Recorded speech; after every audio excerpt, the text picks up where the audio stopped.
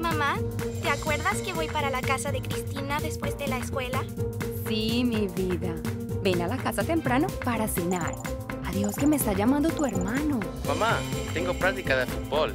¿Qué haces para la cena? Estoy haciendo... ¡Ay! Me está llamando tu doctor. Estoy llamando para recordarle que sus hijos necesitan sus vacunas. Gracias, doctor. Voy a hacer una cita ahora mismo.